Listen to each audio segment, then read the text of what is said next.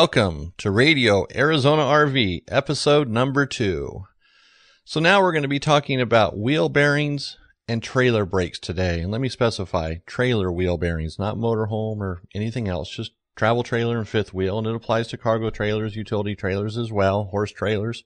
Boat trailers are a little bit different because they get submerged in water, so we're not really going to talk about that. And then we'll spend a little bit of time on trailer brakes since there's not a whole lot to say about trailer brakes. First with trailer brakes, you know, they the brake shoes last almost forever. You might get 50,000, 60,000, 70,000 miles on a set of trailer brakes. It's going to vary depending on the person, their driving techniques, how they drive, uphills, downhills, flatland, Texas versus Oregon. It just depends. Now, trailer brakes sometimes will start cracking prematurely, and you might have to replace them because of that. But magnets are probably the thing that fail the most when it comes to trailer brakes. The electric magnets wear out, they get thin, and then pretty soon they just fall apart or they stop working. And in most cases today, when you replace the magnets, it's just easier to buy a complete, complete backing plate with the magnet and the shoes, the springs, everything on it. Just take your old one off, four bolts, two wires, bolt on the new one, and pretty much adjust up the brakes after you put the drums back on and you're ready to go. It's pretty simple and straightforward. Trailer magnets have become, you know, they're very expensive where you can get a complete backing plate for just a few dollars more. So it's well worth it. It's just spend a few extra dollars and have a complete new system. So that's basically it for trailer brakes. You want to adjust them, you know, a couple times a year to make sure that they are working properly and test them. But it's pretty simple. they either work or they don't. So now let's talk about trailer wheel bearings and how often you should inspect them, what we should be looking for, what kind of grease to use. You know, wheel bearings fail quite a bit from my experience, what I see. At Arizona RV Parts Center, we get people coming in quite often with wheel bearings that have burned up because they didn't check them. They didn't check that they're greased or the spindle nuts were loose they're not paying attention to it. They're just letting the maintenance thing go, and it ends up costing them a lot more than just wheel bearings. You can either ruin the drum, you can ruin the drum, the spindle, and the bearings. So it can cost a lot of money. It can be a lot of downtime on the side of the road, depending on where you're at. You might not be able to just go find a new drum. You might not be able to find the wheel bearings. So maintaining them is very important. And I also want to say before I forget, to keep an extra set of wheel bearings and grease seals on hand. It's not that expensive, but it can be a lifesaver or a time saver or even two sets. You just never know. You know, quite often if one is bad, you might find that the others are, are getting bad or they are bad.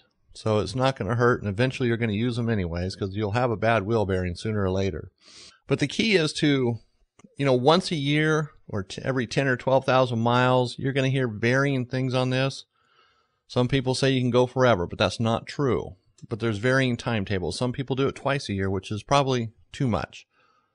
But you want to at least inspect the, the bearings once a year by pulling off the wheels and physically looking at them, wiping off the grease, seeing if the bearings are starting to discolor, if there's any metal in the grease, if the grease is melted or has a burning smell to it. So it's not that difficult to do. You know, I'm going to give you a play by play here. You just jack up the trailer, get the wheel off the ground. You're going to take the lug nuts off, pull the wheel off. Then you have the the drum, and then you have the uh, bearing cap, the dust cap. You're going to take that off with a pair of bearing pliers, or I mean, uh, excuse me, dust cap pliers, without bending it and tweaking it out of shape. Then there's a cotter pin. You take that out, and you always put in new cotter pins. Don't use the old ones; they're cheap easy to find. Take the nut off and slide the drum off, and there you go. There's your bearings.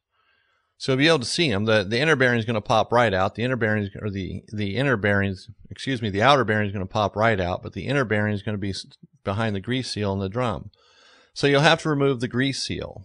And this is something just whenever you do this, just always replace the grease seals. They're cheap. It's not even worth trying to save one, get one out in such good shape that you could reuse it.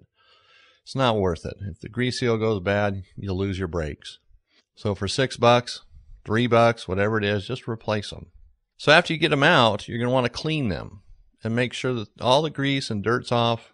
And then you're going to repack them, whether it's by hand or a little packing tool, whatever you have available to you, but you want to pack them, not just wipe grease on it. You want to pack the grease into it. So you'll be able to see, you know, and if you're not an expert on it or not sure, get a neighbor to help you. There's always somebody in the RV parks or, you know, if you, uh, or if you're at home doing this, you probably have a neighbor that knows something about cars or automotive type stuff. You know, there's always somebody you can consult. You can go to the automotive, like a, a, an automotive shop or an RV store and ask them to look at the bearings and tell you if they're good. If you can't figure it out on your own, buy a new set, compare them. Because you're going to need a spare anyways. So you've, you've done all this and there's a reason why. Because wheel bearings fail quite often.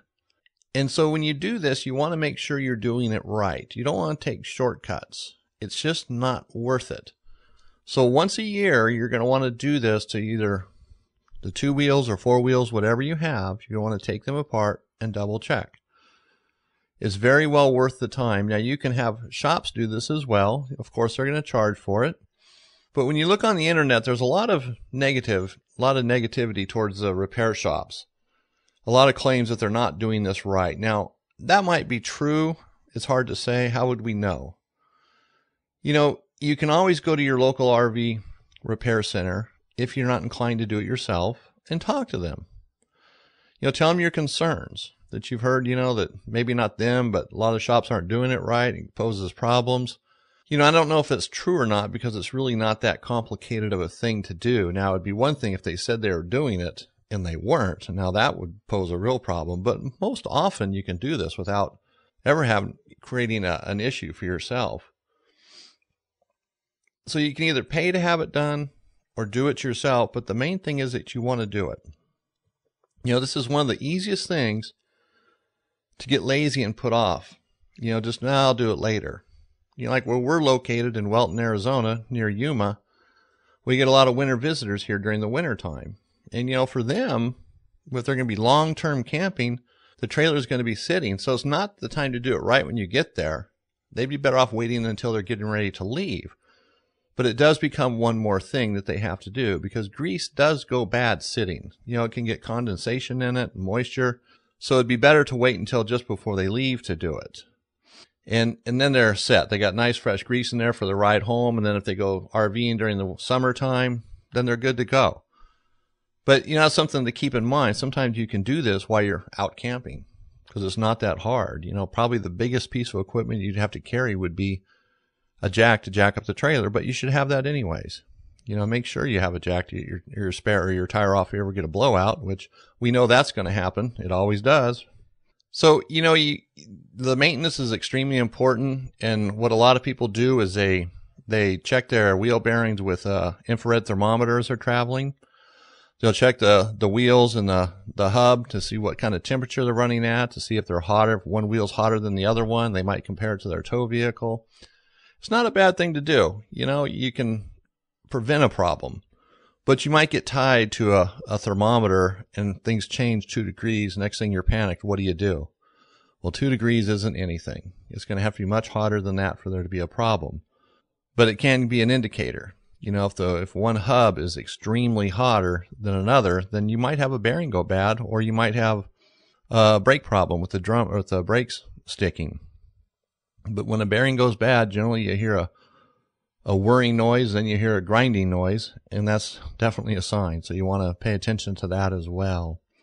So I hope this gives you some basic information here. I know it's it's not a hands-on lesson, but for to but to see it in real life, Trailer Life has a nice little uh, demonstration on their website. And what I'll do is post a link on our website in with this podcast so you can check it out at trailerlife.com. They have pictures and it's a little more descriptive. It gives you an idea how to torque the nut, you know, which, what process to take, what foot pounds to put it at and what to do. So it's, it's kind of a, a recap of what we discussed here today, but this gives you a little more insight, the importance of it. This is something you don't want to put off. So take your time, do it right, and that way you don't have to worry when you're traveling down the road of a wheel bearing burning up in the middle of the night or the middle of the day in some place where you don't want to be. You know, like Wellton, Arizona. Just kidding. It's not that bad here, but you know what I mean. Stuck on the side of the road trying to find a $18 part that might take three days to get and hopefully it's the right one the first time, right? Probably won't be, but you'll find out the hard way. So stay on top of it. Don't let the maintenance slide. So I want to thank you again for listening to Radio Arizona RV, episode number two. So next coming up, we're going to talk about trailer tire safety. So that'll be episode number three. So stay tuned for that. Thank you.